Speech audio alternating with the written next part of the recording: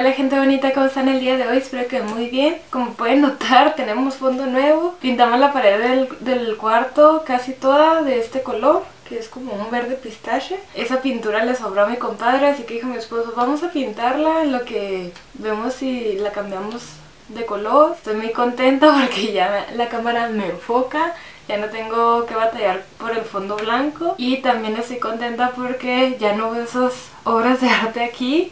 Ya vean, está lisito como si nada. Ahora van a estar viendo este fondo verde en la mayoría de mis videos. Espero que se vean mejor, mi cara, mi ropa, todo. Les quiero compartir una parte de mi pasado que ya superé en su momento, fue muy difícil y que por aquí no se las he compartido debido al mes en el que estamos, que fue exactamente en este mes, 9 de noviembre del 2013. Estamos a 2020, hace 7 años. Van a dar 7 años. Wow. Qué rápido pasó el tiempo. Era un viernes por la noche, eso sí me acuerdo, no me acuerdo en qué estaba trabajando. Y en ese tiempo yo todavía vivía en la casa de mi abuelita, ahí con mis tías, con mis 10 hermanos, mi mamá, mi abuelita y un primo.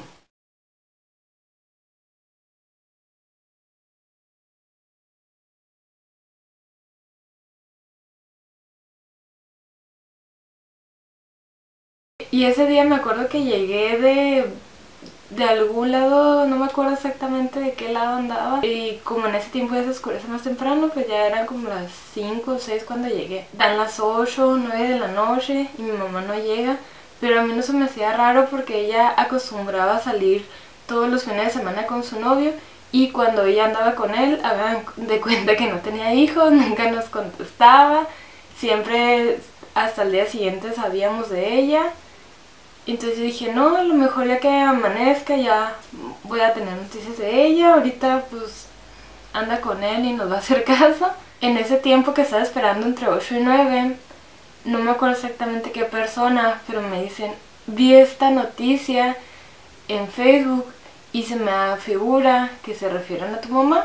Y yo pues con solo leer el título me quedé así impactada. Dije, no, no creo, este ha de ser un error, se han de haber equivocado, no creo, no creo que sea ella. Ya se, se quedó. Al día siguiente que me levanto, sigo marcándole al teléfono de mamá, no me contesta para nada.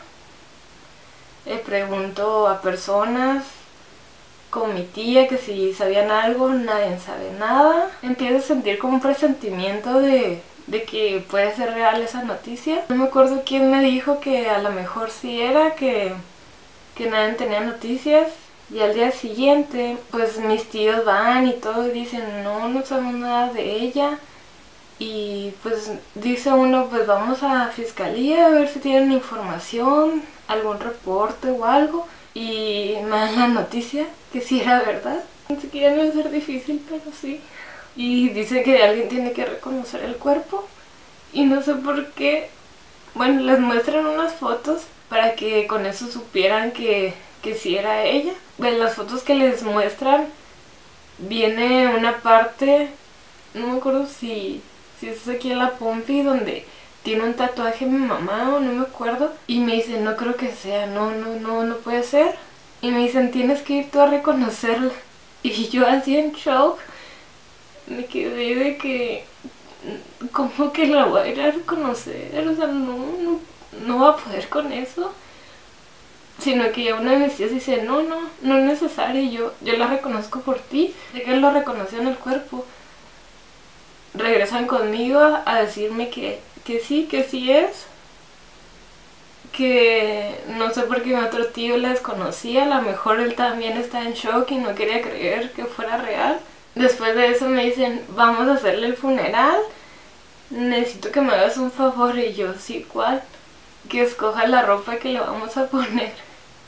En serio que para mí fue algo súper difícil. Me cayó como un balde de agua fría y luego que me hayan dicho que escogiera la ropa que tiene que ponerse. En serio que fue muy muy difícil. Me acuerdo que estaba llorando y llorando así como estoy ahorita con la ropa. La olía y, y no sabía qué, qué escoger. Y se me hizo es bien difícil. Escojo la ropa, Me dicen que, que si quiero me puedo quedar ahí, que no, me, no es obligación que vaya al funeral. Y obviamente que quería verla con mis propios ojos, de que siguiera ella. Entonces sí fue el funeral. Y yo no me quería ir a la casa de mi abuelita a dormir, yo quería estar ahí, pero me dijeron que tenía que descansar. Mis tíos en todo momento me estaban cuidando para que no me fuera a enfermar, a poner grave. Yo en serio que me quería comer, yo no quería nada. Yo solamente quería a mi mamá de regreso. Llegó a la funeraria y enseguida está el novio de mi mamá. A mí ese novio nunca, nunca me cayó bien. Y eh, en ese momento cuando supe que, que tuvieron el accidente juntos y que los dos fallecieron, le agarré más odio.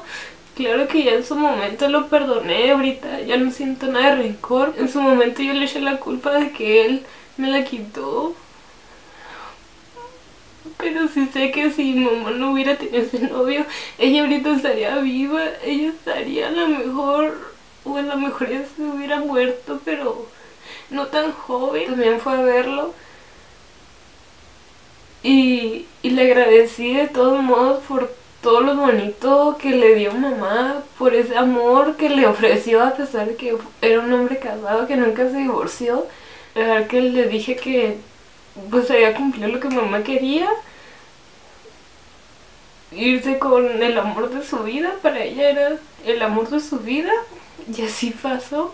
Ya después del funeral hacen la misa y luego es el entierro. Sé que todos los duelos son difíciles, pero siento que en el caso de mamá que ya empezó a tener una relación buena con ella, cuando pasó esto fue muy muy difícil y más porque yo no la vi antes de que pasara eso.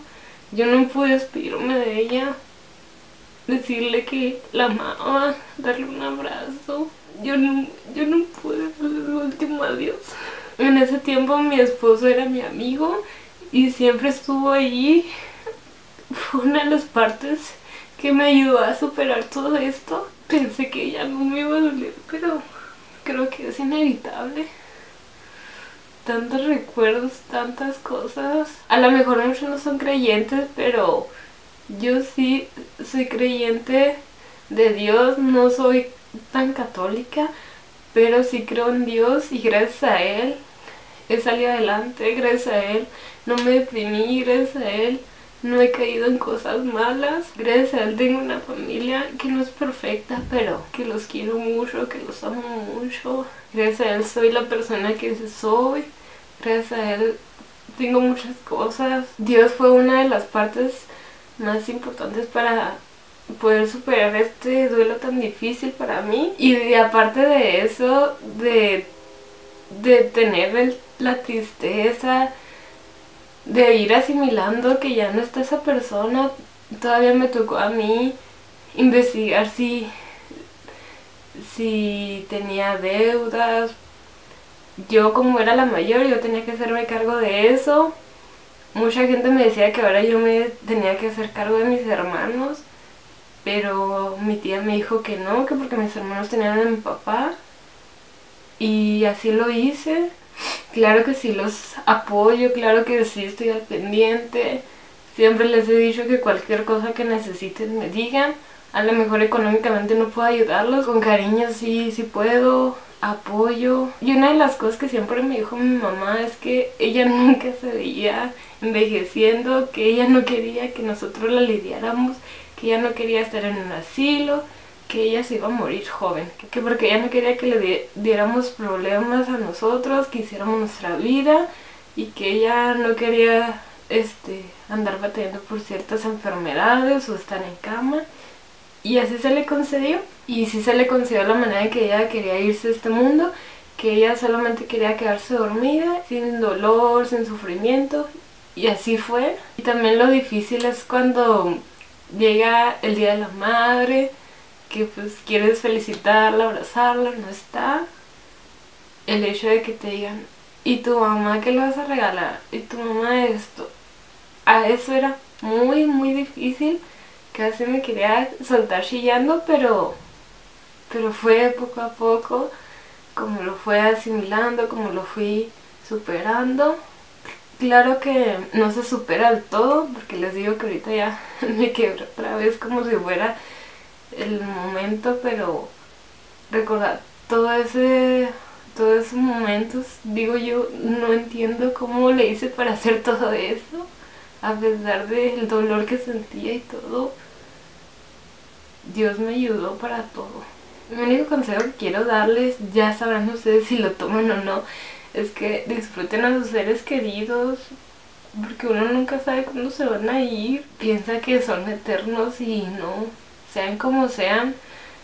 Con mi papá no tengo buena relación y he tratado, pero él no me ha querido, así que yo ya, yo ya estoy cansada de intentarlo, así que ya, ya lo voy a dejar así.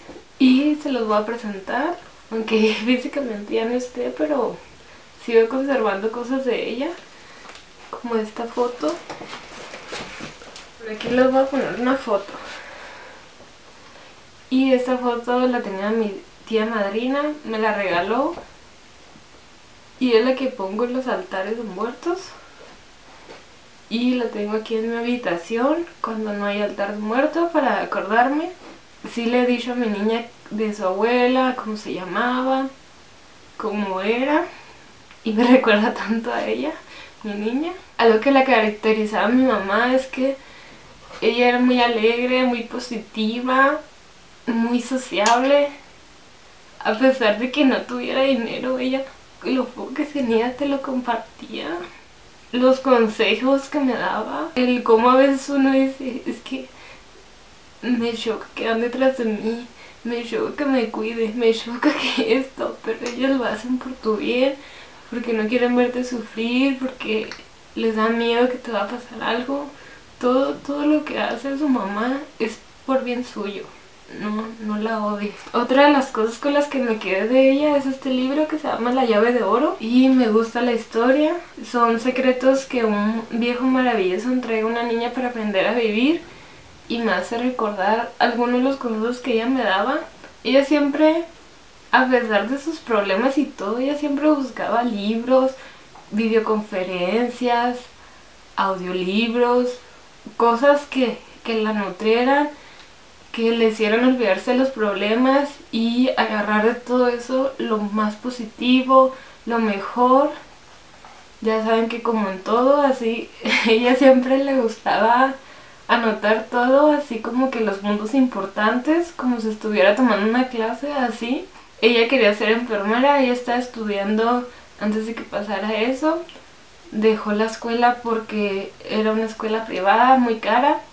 Sí me tocó que me pusieran las inyecciones. Al principio era un horror, pero ya después agarró práctica y todo fue muy, muy bueno. Ni se sentía la mano.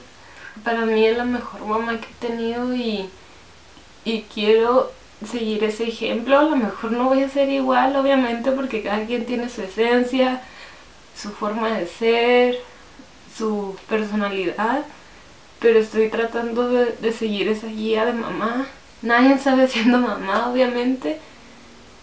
He cometido errores, a lo mejor con mi niña, yo sé, pero hago mi máximo esfuerzo, le pongo muchas ganas.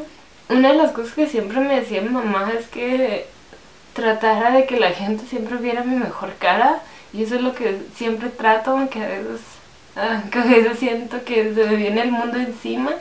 Eso es lo que tengo muy presente, que debo de sonreír aunque por dentro no me sienta tan bien, de que el mundo te recuerde con esa sonrisa y algunas de las amigas me dicen que, que cuando sonrío y todo eso le recuerdo a mamá y me siento muy afortunada de que me digan eso porque que estoy siguiendo un poco de sus pasos, a lo mejor no tal cual.